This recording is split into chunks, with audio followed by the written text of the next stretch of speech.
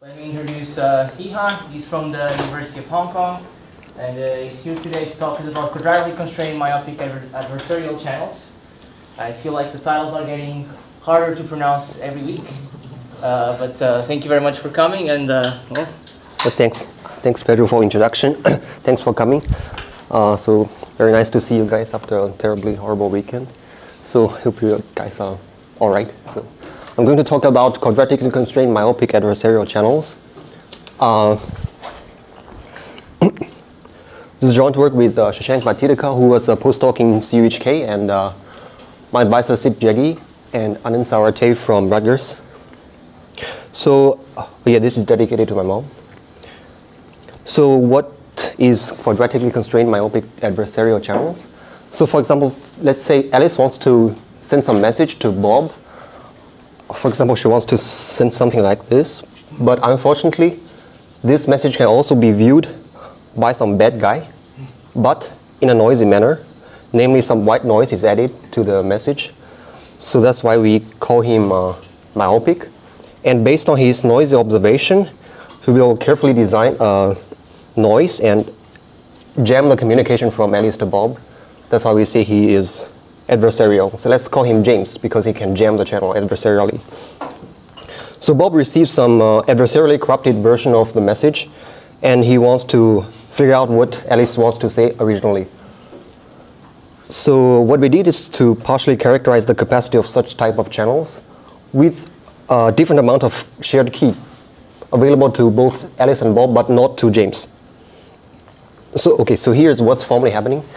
So Alice has a message M. It's a binary string, uniform binary string of length nr for some r between 0 and 1, which is actually called the rate, which we want to maximize actually. Uh, and to fight against the noise between the uh, inside the channel, she'd better encode the message in some sense. So she put it into an encoder, and the encoder is just a function. It outputs a, a, a real vector of length n.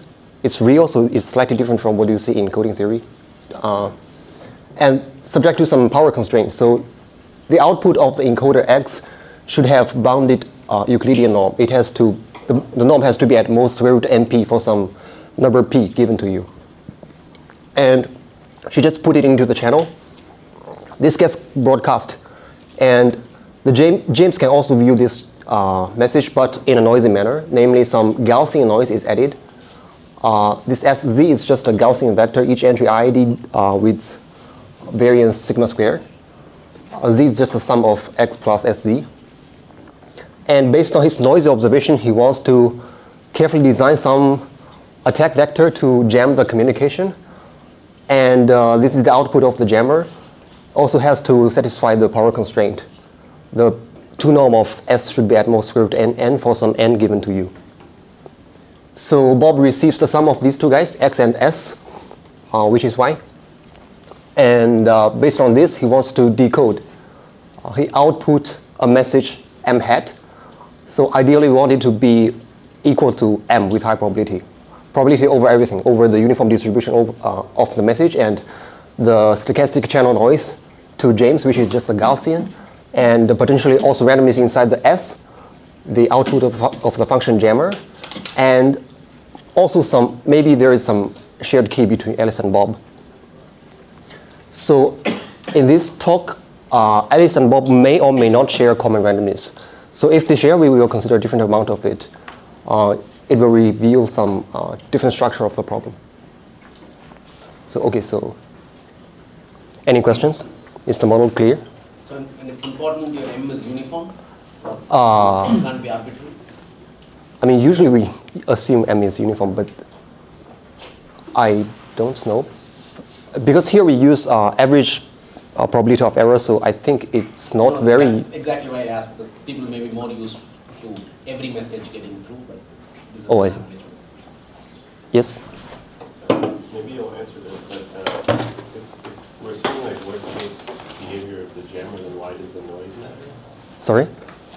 Maybe you'll get to this, but I guess I don't understand why, if you're assuming like worst case behavior by the jammer, why the noise matters. Oh, it's important that uh, James does not know the full transmitted vector S, uh, X, ULTY. So it will so we will really leverage the fact that he's myopic. Otherwise, it's, it'll become very hard. If, if he knows exactly what x is, it comes down to sphere packing, which you don't understand. Is, are we, are assuming computationally bounded or something? Yes, so everything is information theoretically, not necessarily computationally efficient. So they have infinite amount of uh, computational resource, let's say. Any other questions?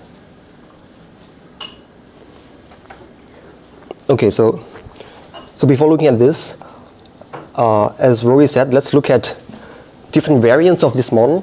For example, if uh, there's no noise to James, uh, James knows exactly what X is. This is, let's, let's call it omniscient channels. So James is omniscient. Uh, if you think about it, I want uh, vanishing probability of error. So every code word has to lie, lie within a ball of radius square root np, and I want those decoding balls around each code word of radius square root nn to be destroyed to ensure there is no misdecoding. This is just sphere packing, right? Which we don't understand. Uh, the best lower bound of the rate or the sphere packing density is given by Blachman. Here I call it GV bound because this is the analog of Gilbert-Varshamov bound, but it has nothing to do with GV. It's uh, due to Blachman. And the best upper bound is given by Kabatiansky and Levenshtein using linear programming bound. Uh, this figure is, uh, is the figure of rate. The x-axis is n over p. Is called the noise to signal ratio. n is the power of James, and p is the power of Alice. You can think it as the noise to signal ratio to Bob, and the y-axis is, is the rate as a function of n over p. So these are explicitly uh, expressible, uh, some crazy functions. So on the other extreme, if the noise to James is infinite, uh, this is basically saying that James has nothing, James knows nothing about the transmitted vector x. Uh, or in other words, he has to choose x, uh, he has to, to choose the attack vector s before the code word is transmitted. So we say in this case that James is, uh, the channel is oblivious. In this case, we know exactly what the capacity is. We know the best rate. Uh, we know the capacity. So again, this uh, curve is the uh, capacity. It exhibits a phase transition. As long as p is at least n, then positive rate is achievable, and it's given by this curve. It's actually half log 1 plus p over n. If you know, it is exactly equal to the channel capacity of additive white Gaussian noise channel. If I so this quantity appears in uh, information theory because if I replace this adversarial noise with a Gaussian noise with variance exactly n, then the channel capacity is equal to this. But now these two channels are not comparable because these are two different type of uh, noise. But somehow they match if the if James is oblivious. Actually, this is a sort of general phenomenon happening in uh, information theory. Um, and if p is less than n, then no positive rate is achievable. So this requires some uh, information theoretic calculations using a typicality method or whatever. But this uh, characterization is easier to illustrate. It involves some uh, something called symmetrization. So to prove there, that there is no uh, to prove that no positive rate is achievable, you just need to come up with the strategy for James, such that under this strategy, uh, the probability of misdecoding is bounded away from zero, right? So what is the strategy? So James can do the following, irrespective of, of what's transmitted in the channel. He just uh, uniformly at random sample a code word X tilde. He knows the code book and sample one code word. Uh, so with high probability, it's not going to be equal to X. And just uh, send it to the channel. He can't do this because P is uh, large, P is less than N. So this doesn't violate James' power constraint. So what Bob receives is the sum of two code words. He has no idea which one is actually transmitted. So the probability of a responded so is at least a half. Given that x theta is not equal to x, which is the case with high probability. If they are equal, then Bob has even less information. Yes, but we consider average case, average probability of error. So it, Yeah, yeah, I, I just mean like it's it doesn't hurt it doesn't hurt the jammer if they're the same. It actually hurts the jammer if they happen to be the same. Yes. Okay, so these are two extreme cases of the myopic model. So you can see myopic adversarial channel is, a inter is an inter interpolation between these two uh, uh, these two channels, we say it's uh, sort of interpolation between Shannon's world and Hamming's world, or uh, in the middle point of average case error and worst case error. So now, now I want to talk about another primitive which uh, we heavily use in the analysis, which also falls onto the bridge between Hannon, Shannon, and Ham, Shannon and Hamming, namely uh, list decoding. So let's say uh, list decoding against omniscient uh, adversary. So again, some message is encoded into a, a code word and it's, it gets uh, broadcast. Uh, so there's no noise to James. Uh, James knows exactly what X is. And now I only require the decoder to output a list, which can be, may not necessarily have cardinality 1, but uh, it's guaranteed to contain the truly transmitted message. And it's better be small, otherwise you can just output the whole message space is going to be trivial. So what do we know about this? Uh, in particular, it's just a trade-off between the list size and rate. So I'm going to give you a, an achievability scheme. Uh, for example, uh, you just sample many code words, 2 to the nr code words, uniformly at random on a sphere of radius square root np. This is a codebook. And you transmit one. Uh, some noise is added. Any noise of length squared nn, so the received vector y is guaranteed to lie within a shell of outer radius squared np plus nn, uh, inner radius square root np minus square root nn. So what does Bob do? He output, for example, uh, he receives y, and he output all code words inside this noisy ball of radius square root nn, namely all code words on this cap. So the largest intersection of the noise ball and uh, the s- coding sphere is given by this ball, right? The radius, uh, the diameter is a line on the sphere. So you can compute the uh, ratio of the intersection and the volume of the coding sphere. This gives you something. You use this to compute the probability of error. It turns out the list decoding capacity. uh, So some rate is achievable. This rate is achievable, uh, and you can also prove a matching lower bound. Oh, sorry, upper bound. So the capacity is given by this quantity, half log p over n. There's no one here, so you remove the one from the uh, AWGN capacity, you get the list decoding capacity. Uh, so the channel capacity is different from this decoding capacity, which is not the case usually in the binary world, if you know. So this is uh, a folklore, but somehow we don't find any reference to this. Uh, okay. So now, uh, maybe the most relevant work to ours is uh, by Sarwate. He examined exactly the same model, but with infinite amount of common randomness shared by Alice and Bob, which is not uh, very realistic, but it is uh, something. And he characterized the capacity of this type of channel. This is a different figure uh, from what you saw just now. It's not a rate curve. It's uh, this plane R2 is parameterized by two quantities. The x-axis is again n over p, the signal-to-noise ratio to Bob, and the y-axis is another uh, signal-to-noise ratio, sigma squared over p. You can think it as the signal uh, SNR to James.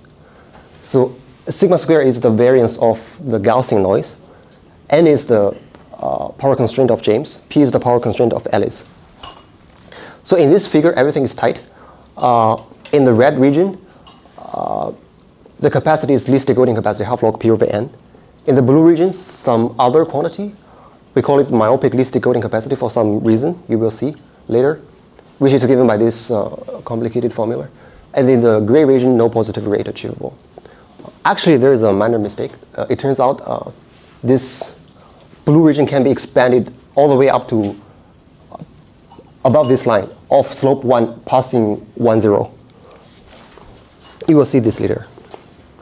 If they share infinite amount of common randomness. So, okay, so these uh, red and blue region may require some non-trivial calculation, but again, the converse is easier to illustrate. You just need to come up with, a, with an attack. So what is the attack? We call it scale and bubble. So uh, to gain some intuition, excuse me, to gain some intuition, let's uh, begin with omniscient case. Let's say uh, James knows exactly what's transmitted. He knows X, and let's say he has enough power. What can he do? He can just cancel it out, right? Bob receives nothing. Uh, but if he has no, uh, no he, doesn't have enough power, he can still scale it down, but it's going to be useless because uh, Bob can just scale it back. He knows what x is.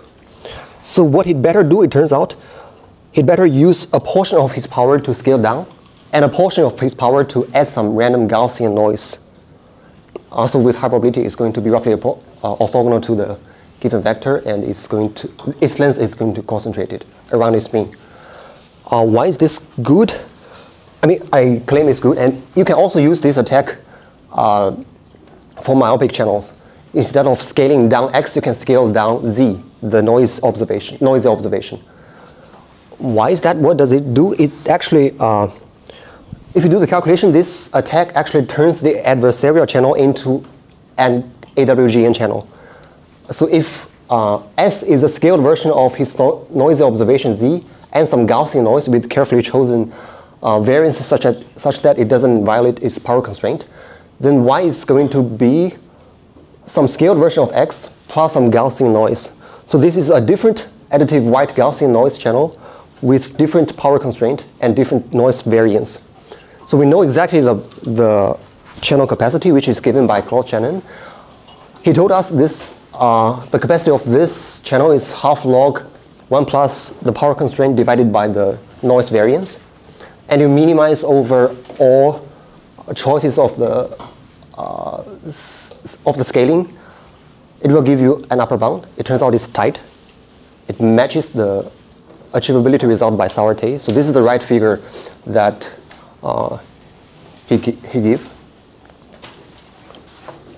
Okay, so what do they do? So if they share some, let's say 0.2 n bits of common randomness, it turns out this is the uh, capacity. Again, in red, yeah, the same uh, myopic model, but Alice and Bob share 0.2 n bits of common randomness. Uh, in the red region, again, the capacity is uh, list decoding capacity. In the blue region, uh, something called myopic list decoding capacity, which can be written down. In the gray region, zero rate. In these two regions, we don't know, but we have some uh, non-matching upper and lower bounds uh, if you take a slice and draw the rate as a curve of n over p, this is what you get. So the black curve is the rate. Other, other curves are for reference. So what if I increase the amount of common randomness? As you can see, the blue region expands, and which is not surprising because in some cases, uh, larger rate is achievable. And again, you can take a slice and draw it as a draw the rate as a function of n over p.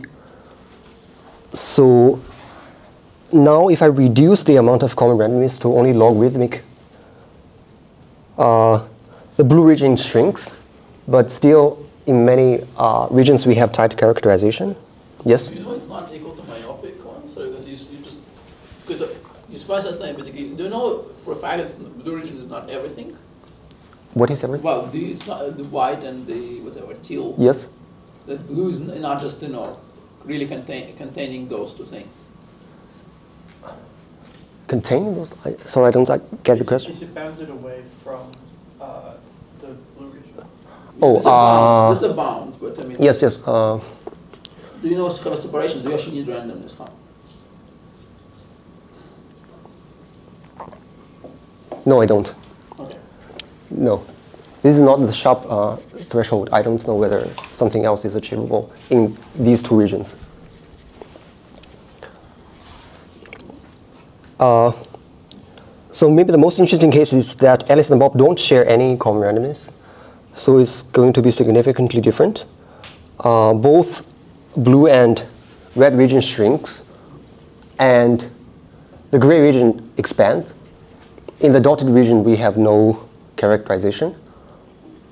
Uh, so, yeah, so again, let's begin with the converse. It's going to be easier to illustrate.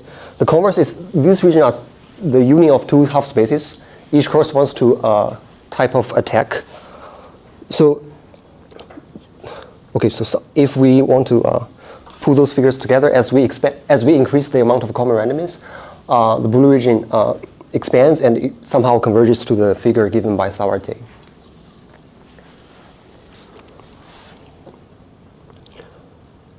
So for the converse, this half space is given by the following symmetrization argument, which I just illustrate. You just, uh, irrespective was, of what's sampled, uh, of what's transmitted in the channel, you just sample a code word and add it to the channel because you can do this because n is larger, larger than p.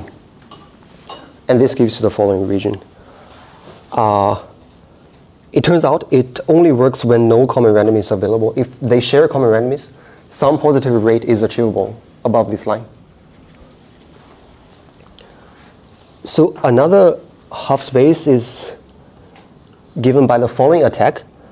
What can he do? Instead of uh, sampling uh, another code word irrespective of what's transmitted, he can do the following. So, uh, so geometrically, uh, some code word is transmitted, and uh, some Gaussian noise is added, and James observes z, which is x plus some Gaussian noise, and he uh, samples some code word x tilde, and his attack vector is going to be the middle point of x tilde and z. So why is this good? He just add this onto x, and Bob receives y, and he uh, wants to decode.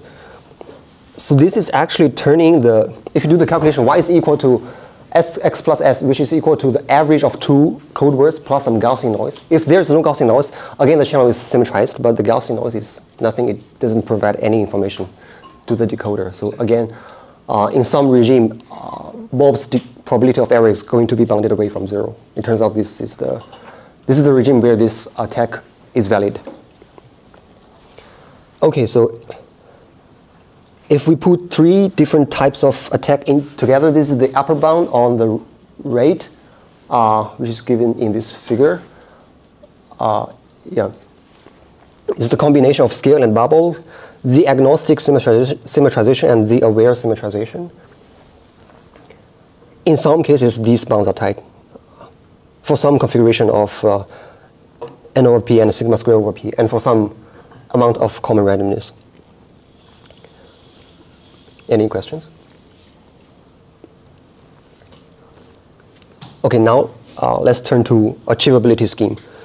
So, so I want to prove some rate is achievable. Uh, I want to prove lower bound on the rate. So the code construction is nothing special, it's just a random code. Uh, what's not trivial is the analysis. Uh, the code book is just uh, constructed as follows. You sample 2 to the NR code words uniformly at random on the sphere of radius square root NP, and that's it.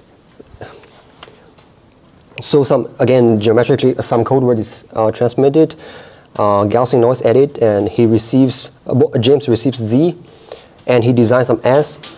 Uh, so this is the Y Bob receives. How does he decode? He just uh, draw a ball of radius square root n n around Y, and output potentially the unique code word inside this ball. If there's no code word or at least two code words, claim an error. That's his decoder. That's it. So the encoder is just a spherical code. Decoder is this bounded distance decoder, very simple. Um, so now for some technical reason, uh, I want to reveal some information to James which he doesn't have access to originally. This is totally for technical reason. There is no, uh, I mean, probably you can get rid of it, but I tried and failed. So if you have a simpler proof, that will be that will be great. But okay, for for now, let's let's say some code word is transmitted and uh, James, is, uh, James observes Z. So from his perspective, all code words within that super, uh, superscript are going to be, oh, sorry, with high probability, the truly transmitted code word is going to lie within the superscript, right? Uh, because of the uh, symmetry of Gaussian noise. Now, uh, so with high probability it lies in that, and I want to subdivide the superscript into small strips so that uh, the posterior distribution of x given z are equally likely, are roughly the same inside the strip. So namely, uh, given z, the probability of this code word is transmitted divided by that code word is transmitted is roughly is a very small quantity. It's given by some quasi-uniformity factor.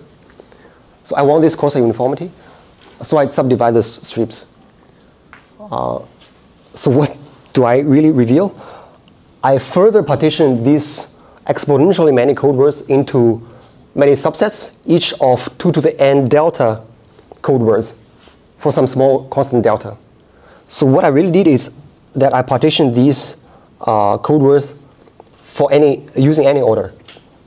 I partitioned them into subsets, each of size 2 to the n delta, and I reveal the one which contain x. So what James knows is the following. He knows the position of this small strip. Uh, x is guaranteed to lie within this small strip. And he also knows x is within these 2 to the n delta code words. So his uncertainty boils down to these 2 to the n delta code words. Okay? Uh, this is just for technical reason. Somehow it simplifies our analysis. So now here comes the main technical lemma. Uh, something called myopic list decoding is an in- intermediate step towards unique decoding. So it says that uh, it is very unlikely for James to choose an attack vector such that it fools many code words in his uncertainty set. So what does this mean? So some, uh, so he knows that this code word, uh, X is within this strip, and these code words are roughly equally likely to be transmitted. And it's for any attack vector he can impose. For example, he chooses this S and add it to the channel. Bob receives Y. And how does he decode? He just draw a ball of radius square root n n around Y and output potentially a unique, vec- unique vector inside this ball. But from James' perspective, all these code words are roughly equally likely to be transmitted. He doesn't know which one is actually transmitted. So all these code words are translated by the same attack vector, right? So actually, from James' perspective, all these things are translated by S, and there are many, many decoding balls. So this lemma says that uh, for any S he can impose, uh, for most of these balls, they contain not too many code words. So there are 2 to the n delta code words inside these strips. Namely, there are 2 to the n delta balls. For 2 to the n, 2 to the n delta over 2 balls, they contain at most n squared uh, code words. Okay. So this is not what we want because I want unique decoding. But now let's first analyze this. So how do we go about proving this kind of thing? So it comes down to, okay, so here is the ball. It comes down to analyzing the average intersection of the ball and the coding sphere averaged over this strip. So it turns out the intersection of this ball and the coding sphere averaged over this, this strip is concentrated around its mean. So, so you can uh, decompose everything into two directions. You can decompose every vector into directions along z and perpendicular to z. In particular, x has two components. This one is highly concentrated around its mean because everything is nice because there's Gaussians. This component turns out is roughly is approximately isotropically distributed in this strip, right? Because the strip is very thin, and uh, each code word is roughly likely to be transmitted, so this component is uh, approximately isotropic. So that allows us to compute the average radius of the intersection. Notice that the intersection is just a cap. So I can compute the average radius of this uh, cap. So you optimize over the decomposition of S. Uh, I don't know where, uh, I don't know the direction of S. You can optimize that. It turns out the uh, worst intersection is given by some uh, square root n r for some uh, random variable r. You can compute that. It will lead you to uh, those red and blue regions ultimately.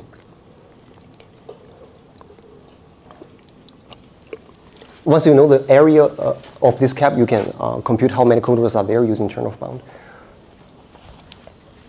So this will ultimately give you some myopic list decoding rate is given by the following uh, region.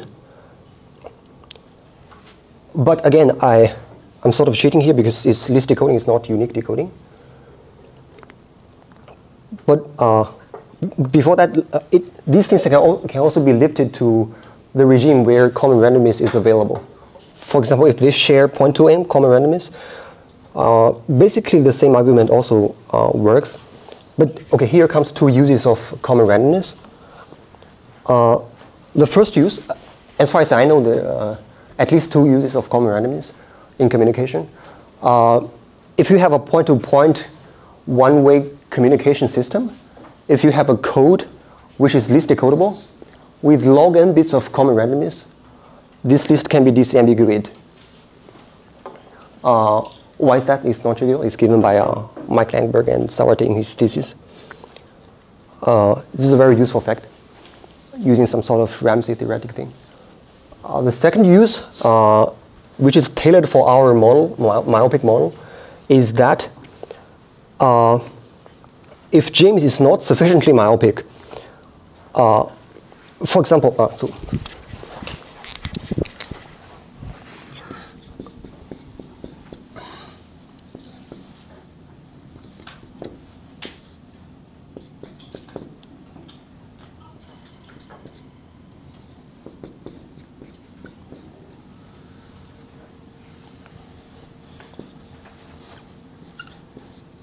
So basically in those regions, we only know how to analyze the capacity when James is sufficiently myopic so that his uncertainty set contains many, many code words, contains exponentially many code words so that we can subdivide it into many small subsets and do something. If his uncertainty, uncertainty set only contains one code word, he's omniscient. This comes down to uh, sphere packing, which we don't understand. So uh, if he's not myopic, we want to make him myopic using common randomness. How? Uh, for example, if this is too large, he is not that myopic, right? I want, I better want this is at most this. But if it's not the case, he's not very myopic, I need these many bits of common randomness to myopify him. How? Uh, Alice and Bob can co cooperatively create many copies of uh, code books. So this is the codebook of size 2 to the NR. They share, they share some key. And they can create many copies. They create 2 to the N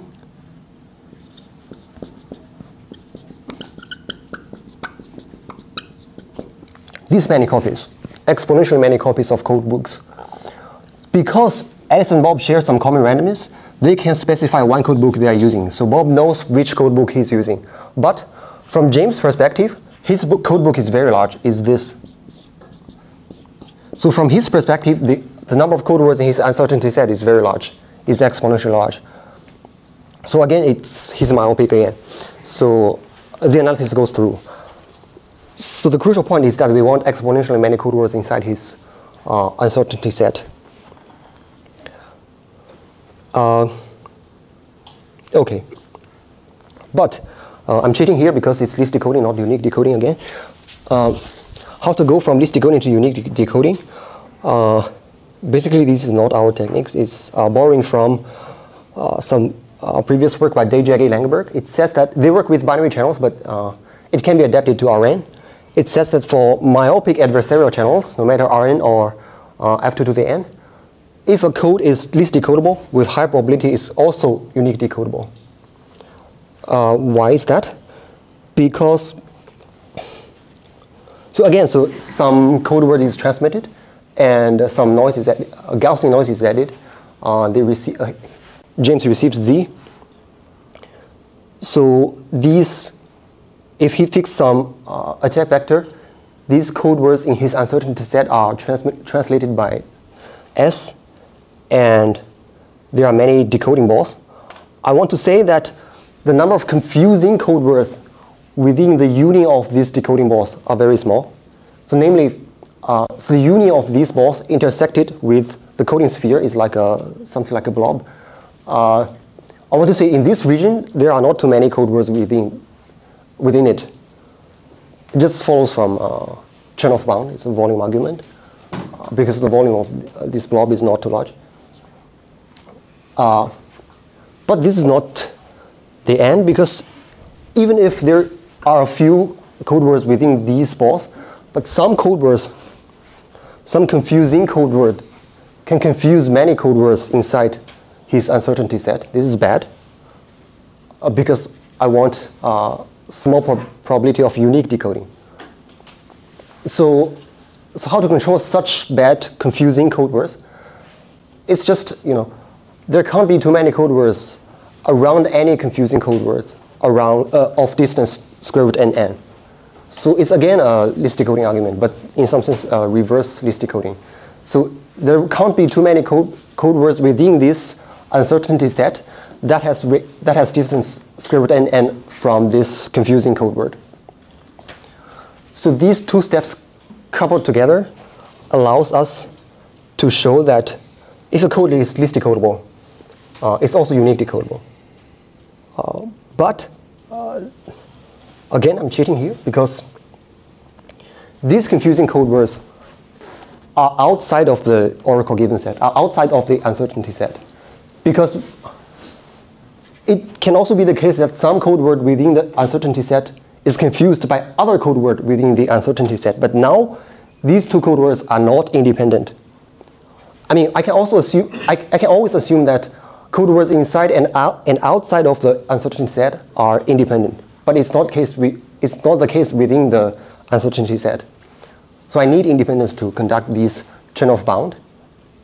So what if it's confused by other code word inside, uh, inside the Oracle given set? Well, uh, so here is a nice trick. You can, so there are two to the n delta code words in this strip. So I align them into a grid, into a matrix, using any order, any fixed order, whatever it is. It has nothing to do with the physical alignment of the code words. It's just any order. And I can do the two-step an- analysis for each row and each column. This means that every uh, mutual confusability is covered, if you think about it. But the nice thing is that if I do the two-step analysis for each row or each column for any row, I can assume that code words within this row and out of this row are independent. So again, I have independence. So what are the rows and columns? Are code words within the uncertainty set. These points are code words within uncertainty set. Is this your- just a calculation tool? Sorry? Is this a calculation tool is it part of the algorithm? Of the Uh, no, it's, it's analysis. It, ha- it has nothing to do with decoding algorithm. I mean, the decoding algorithm is just the bounded distance decoding, just a drawable and output, and find some code words inside. And it's definitely uh, not efficient. So that's basically it. So from the achievability side, uh, so we use myopic list decoding coupled with uh, some uh, meta theorem, sort of, to go from list decoding to unique decoding. And on the converse side, there are three, three types of converse argument. So some open problems. Uh, basically, we only know how to analyze the characterize the capacity when James is sufficiently myopic. Uh, so those uh, red and blue regions corresponds to sufficiently myopic regimes. It's a uh, yeah. What if James is insufficiently myopic? Uh, so we don't know. As you can imagine, it becomes harder because uh, as the level of myopicity decreases, it uh, converges to the sphere packing problem, which is hard. So some intuition may, seems to tell, tell us that you'd better use private randomness to increase the uncertainty for James. Uh, but you, you better also let those code words corresponds to one message to be clustered in some sense. So this is sort of like a superposition code, if you know. But uh, I tried it but failed. It doesn't seem to work out. If you know how to, please let me know. Uh, so the second one is that uh, these things are not computationally efficient. If you want, can we construct computationally efficient codes for such type of channels? Uh, so Venkat and Adam Smith can construct uh, construct computationally efficient codes for oblivious channels. Uh, can we do it for myopic channels? So the third one is that we can also uh, impose more constraints onto the, the adversary. For example, he can only observe his noisy observation causally, so namely his, uh, so he can, the ith entry of his attack vector can only be a function of his observation for now. Uh, the weight can only be uh, smaller. Yes? Sort of a streaming adversary? Yes, something like that. So that's it. Thank you.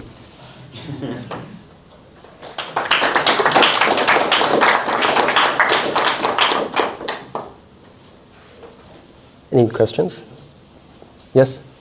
So, well, what in this, like, when, we have to worry about, like, within the two to the n delta Yes. possibilities. Why don't we need to worry about the rest of the code that are within that distance? Within what distance? Like, the things that worked in that substring. Oh, it's outside of the uncertainty set. It's also, yeah, it's, we have already considered that, right? I mean, so James knows it's not that, but like, Yes. So I, I guess that, that was the key, like, um, that was the technical, the, where the, the, the unusual assumption you were making, like, actually played out, was so that there would only be a small number of things in James's uncertainty set. So those code words are within that strip, but not within the Oracle given set, plays the same role as other code words outside of the uncertainty set. I mean, uncertainty set is not the strip, it's just a subset of the code words within the strip.